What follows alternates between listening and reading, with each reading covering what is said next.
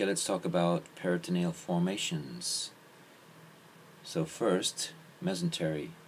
Mesentery is a double layer of peritoneum that occurs as a result of the invagination of the peritoneum by an organ and constitutes a continuity of the visceral and parietal peritoneum. Mesenteries have a core of connective tissue containing blood, lymphatic vessels, nerves, lymph nodes, and fat. So this is where all of the all of these run together in the mesentery.